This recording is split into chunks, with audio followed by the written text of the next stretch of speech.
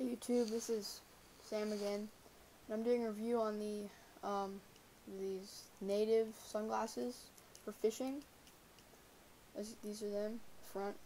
I just have the regular tinted in there. This is from the side. Then I have a lanyard on there from Costa. I, I really like it. Um, they fold up like this. Fold up. That. They have a case. I don't have that right now though. They fit on like this kind of they look like on me. I mean, you can't even see my eyes.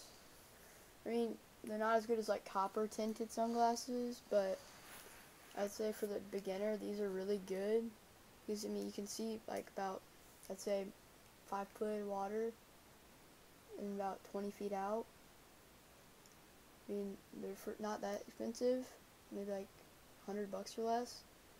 And you get like free warranty on it, and you get like, they'll send you a new pair. Really nice deal. Native, I would definitely recommend them to any beginner angler.